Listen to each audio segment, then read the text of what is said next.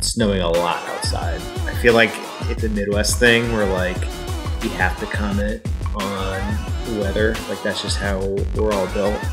And so like I have to tell you, like it's within my bones to tell you that it's snowing bad outside. But also that's why I'm here at home uh, instead of at the studio. I don't want to go to the studio. I don't want to drive in the snow. My dumb little rear-wheel drive car does not work in weather like this. So here I am. Today, we're going to talk about lettering. My name is Scott Drummond. I make comics. I do illustrations for board games and things like that. I feel like I've been doing this for enough time that I can give you guys sort of a rundown of things that I've learned and improved upon uh, in my uh, years of experience doing this. We're going to talk about lettering in Photoshop specifically, but I think these tips will apply to anything like Illustrator or InDesign or Clip Studio Paint, things like that. Uh, yeah, go ahead and roll the intro.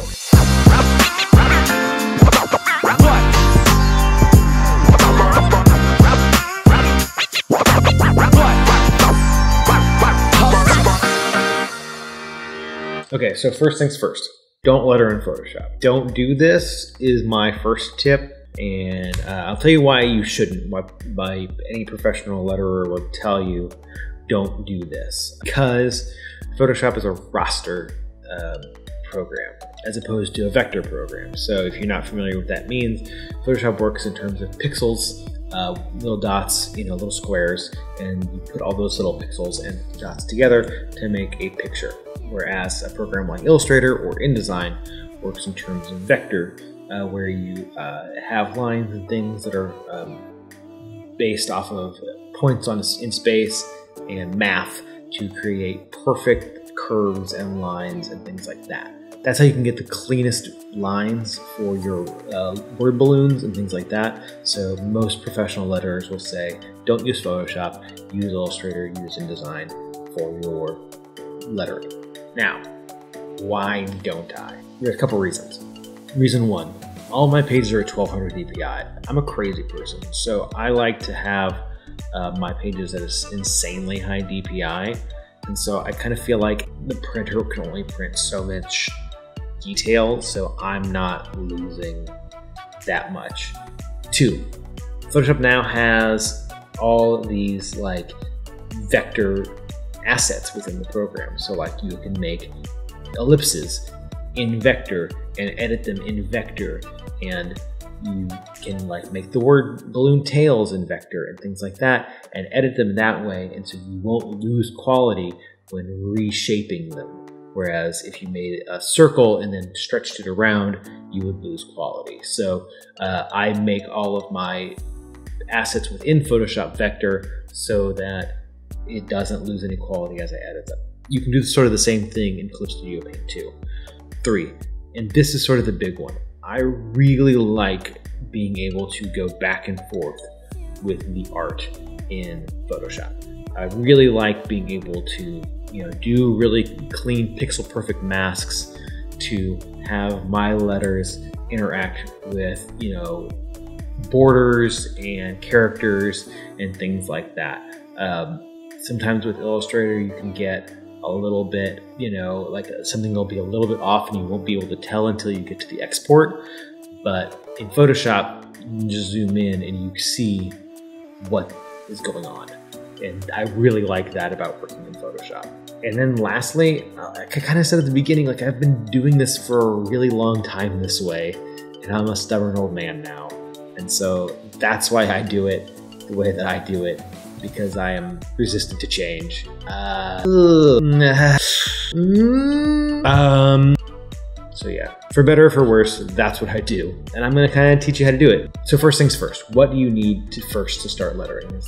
With any design, you need good fonts. There are two places that I like to get my fonts. Um, one is ComicCraft. They run a site called comicbookfonts.com they have a huge library of fonts and they are all very, very, very good. I use their font Joe Kubert for a lot of my dialogue, which I love that font. I bought the international version, but I think there's only one version now, so make sure you get the international version of any of those fonts if there's a different version available, because then you get more glyphs and things like that. Glyphs are the like the shape, like the little actual letters. So like just get the one with more glyphs. You want more options. They have a lot of really cool um, sound effects fonts too. We're not going to talk about sound effects in this video. I might save that for another video. I love their dialogue fonts though. I think they are wonderful. I, I really dig their stuff. The second place that I would recommend getting your fonts from is Blambot.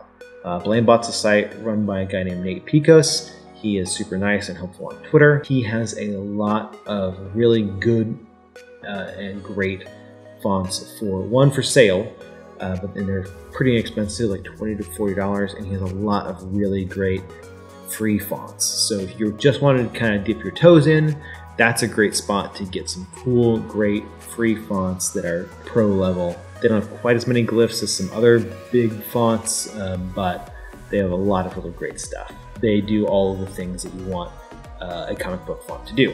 what do you want a comic book font to do? You want it to look handwritten. So that's a big part of it. You want it to feel like it is handwritten and not in like a terrible, like, you know, scripty, this font just came with your computer kind of way. You want it to have a lot of comic specific glyphs, things like octothorpes and like exclamation points and all of those things, and even like stars and like extra stuff. You want to have font include a lot of that stuff. You know, have your uh, quotation marks look like they're handmade. You know, things like that. Things like it will automatically change your uh, the second character in a row a different version of that character. That's called a ligature. When you have two characters uh, that interact with each other, and then it substitutes a different glyph for the two. That's called a ligature. Uh, welcome to my typography class. You want it to do those very specific comics related things. In the same vein as that as the ligatures, you want it to have an I that is a straight I, and you want it to have an I that is a crossbar I. Um, that's huge uh, because when you're making comics, the crossbar I is always used for just the word I. Like when you say, I went to the store, I did this, I did that, that is the crossbar I. If you have a I in a word like sign, then it should be the non crossbar I. Lettering 101, that's what you need to be doing. To do that, you just hold shift and hit I, and it'll put the crossbar I in there in any comic book font. Like that's how it works, and that'll make your comics like that's like the telltale sign of a pro versus an amateur is they screw up the crossbar I. All right, let's talk about layout. So the first thing you're going to do is make sure you have enough room for your lettering. If there is, you know, a super dialogue heavy panel, you might want to say actually do the lettering first and then kind of work your art in around it. Especially if you are, you know, doing everything. Sometimes if you're just doing the lettering, you can't do that. You're stuck with what you got. But if you control the whole process, you might as well do yourself a favor and not screw it all up in the end. I've got this panel, right, and I'm going to want to put some lettering here. Uh, I specifically have not, you know, put this guy huge um, on this page so that there's no room to do anything else. So I'm going to have some spot a spot right here where I can do some lettering. Next thing I'll say is that font size is very important uh, when you're making your font size choices. What I like to do, especially what I'd recommend for new letterers, is to take a page of a comic that you like and are wanting to emulate uh, and pull that onto your page and kind of see what their font sizes are in comparison to yours, right? Know, another thing you can do is even print out some different sizes and see what looks right if you want to make a print comic in the end. If you are doing something like Webtoon, you can do a couple of different sizes, export it to your phone, and see what looks right on your phone. Uh, so you don't have something that's like super small and it's impossible to read on your phone on a mobile size. So, uh, so we'll write some text here and kind of uh, see what we see. So, so right away we're going to see a couple things. Um, I'm going to put a white uh, background here behind the text so that and put it at like 70% opacity so that we can see the text a little bit better. So I've got my text size at like 6.5. I found that I like that text size for the size of comic that I do. It's not too big, not too small. It's uh, the Goldilocks size. So when we are making text balloons, we want our text to kind of go from small to big to small. Uh, we want that text shape to sort of emulate a balloon shape so that when we put our balloon around it, it will look nice and natural. We're gonna, you know, kind of hit delete here and hit uh, return to get a space there. So now, looking at this, I'm gonna put a line break between get and out, and maybe this in building, and kind of see how this looks. Um, and honestly, it's okay. It's not great. Um, I feel like it's a little bit top heavy right now. So we can play around with a couple different versions of this and uh, you know see how different things kind of work out.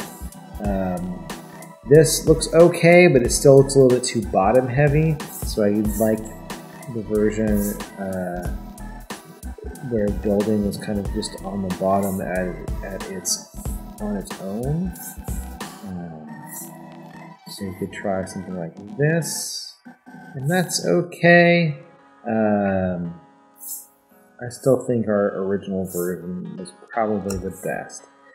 I uh, kind of prefer to have my balloons feel a little more top heavy than bottom heavy, especially because uh, in this sort of scenario, right, this is sort of the space we're working in um, that we've got to fill.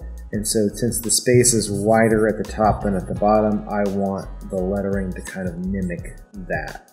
If that makes any sense, I don't know if it does. So right away I noticed another thing too. Um, o and heck both have H's right at the beginning. So I'm going to highlight this H and make it a capital H. Uh, uh, actually, I'm going to highlight the other H and make it a capital H so that those two letters right next to each other aren't the same glyph. And it looks a little bit more handwritten. Uh, you can see that it naturally does it with these two T's. The font knows to do it, but if you've got a space in between it, it won't know to do it. Same things with these with these G's. I'm gonna put make one a different G here, and that's okay. I don't mind that as much. Maybe change this O since there are three O's right there. Just some minor stuff, but I think it really helps. The next thing I want to talk about is your leading. So that's the space between your letters here. So I feel like the automatic setting right here in your character panel is too high. I don't like how wide this space is. You want to kind of compress your letters a little bit and have it look really nice. I use 6.8 for mine. Just feels a little bit more nice and compact. So now that we've got our text all in here, we need to put a balloon behind it. To make a new layer behind the layer that you're on, just hit Command or Control on the PC and click the new layer button. Uh, I'm gonna have white selected here. I hold down here and get all these to come up. So um, pull and go to the ellipse tool and there's a couple different ways you can do this, right? So like you can have the stroke on it originally, or you can take the stroke off. I'm just gonna take this stroke off and kind of show you this way. So I'm gonna click and drag out from the center, and then I'm gonna hold Alt uh, as I do it. And that will uh, make it kind of go from the center so I know that it's fairly centered. Um, you can also, once you've got this kind of in a, in a spot you like, or you're like, ah, it's not quite right, you can hit shift or uh, command and click here to get both of these layers selected. Hit this align center button and that'll get these center aligned. And I'm gonna uh, then double click on this ellipse and I can put a stroke on it. I'm positioning this stroke inside and having the blend mode at normal, 100% opacity, uh, have it be black, uh, and 5 pixels is about uh, what I'm going to put it at. I like to put my strokes like it could be made from the same pen. So like this feels like it, you know, is from a thinner or thicker thing. So I, I could probably even maybe go down to 4 if I really wanted to. Maybe I just like a little bit of a thicker stroke on that, like, it, like it's a thicker version of that pen. Now that we've got our stroke on here, I want to adjust this balloon a little bit it feels like it's really uh, got a lot of space on the outside. As a general rule, I sort of like to have about one letter's worth of space around my uh, text, between the text and the uh, balloon stroke. So I could do, you know, grab this H, copy it, And I don't do this every time, but you know, you can kind of generally go, okay, you know, let's put this guy here and you can hit Command T and kind of adjust this a little bit while holding Alt so it moves both of them. So we can kind of grab that. That looks great. You can select that um, H again and kind of move it around. Hit Command T again and drag this down. I'm not going to go full on to here because I want it to feel a little bit, give it a little bit of room, but uh, there. You can also use the uh, direct select tools to mess with these two. So with uh, here, you can grab the uh, direct selection tool, the white one, and that'll let you grab individual points on here. You can click and drag or just click on them. What I want to do is grab these two, hold shift to uh, select both of them, uh, and then I'm to move this up a little bit, maybe, to uh, kind of emulate that we've got, we've got to get a little bit higher. Does that look okay? Or do we like it a little bit further down? I'm to pull this down a little bit. That doesn't feel too bad. So the next step in making a, a nice word balloon is putting the tail on it. With the ellipse selected, I like to do is use the pen tool. Just click this guy, and we are going to, uh, over here on the path, we want to combine shapes up here at the top and make sure that that's selected. This is a little bit tricky, but we're gonna kind of uh, it. So I'm gonna click inside here and drag to kind of get this uh, little Bezier curve is what that's called. And then I'm gonna drag into the balloon so that I want to create a shape that comes in like this. So I do that, and so I know that this is going to pull this out. So I'm going to click down here and drag. So I've got this shape here, and so now this curve looks very nice. And then I want to click down here and just click. Uh, so that is a point. And now I'm going to click and drag on the initial point and get that feeling uh, kind of the same um, distance as I made initially. This. And there you have it. And you can edit this using the same uh, direct select tool by clicking A or the white uh, you know, direct selection tool um, here. And you can grab this and move it around a little bit to get it correct. The uh, black direct selection tool will let you grab that whole shape and move it around.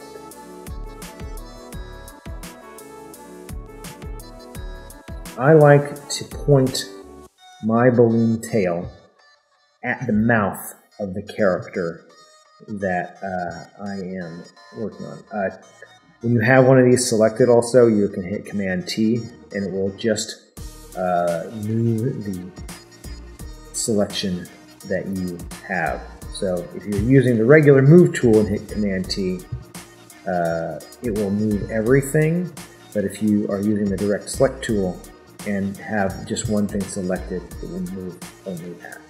So I like to move it and have it point directly at the mouth of the character that's speaking. I want to give a little bit of space here. I, what I don't want to do, and I see some people do, that I hate, is do this. Don't do this. This is awful.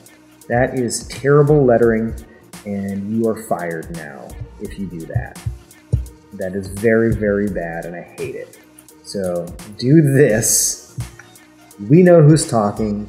It's pointing to his mouth, but it's far enough away that it gives him some breathing room. Okay, bonus tip.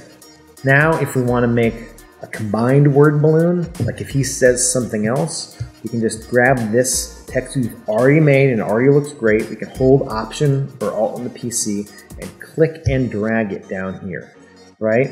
Uh, so then we can put some new text in here and let's maybe make now a bold version of it. We don't want to just duplicate this and have another tail going to them. We want to have it so that this balloon is connected to this balloon. And you can do that in a couple different ways.